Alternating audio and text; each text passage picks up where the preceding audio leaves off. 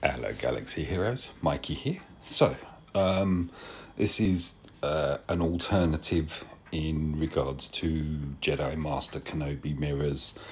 Um, so, obviously, here I'm just going through the squad. So, here's Cat. So, basically, um, post gas nerf. Sounds like I'm talking French, doesn't it? Looking at different things. So I've been trying Jedi Knight Anakin in place of gas, and it's it's okay. Um, but this dude, Echo, hello, hello, yeah, poor joke, I know. Um, mm, makes life a bit interesting. So um, I thought I'd actually go through the the mods. So oh bless, sacrificial lamb. I've seen somewhere, I can't remember who it was that said it, about running uh, Visas Marr in there and resin him, but mm, oh, I can't pull the trigger there. So, um, this is against a Relic 8 squad, comp, whatever.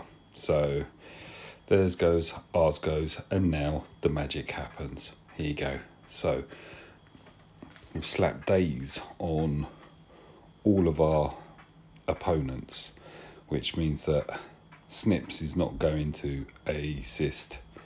And even when Cat does her bit, no assists.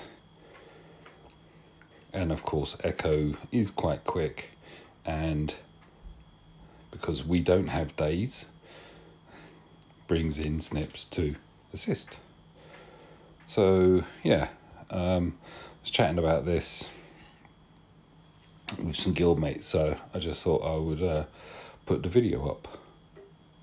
Someone was wasn't quite understanding who who replaces who, so ooh, I can actually put a who's on fifth on here, can't I?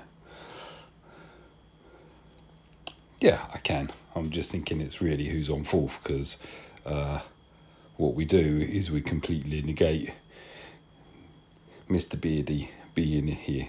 Well, not negate, but he's just instantly zapped, and then it's the rest or the other four. But yeah, you get the picture.